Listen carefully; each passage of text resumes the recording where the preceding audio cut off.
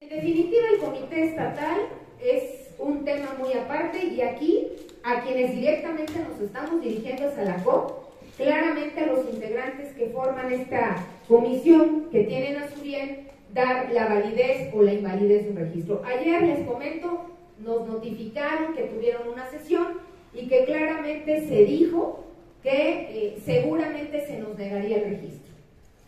En caso de que se le niegue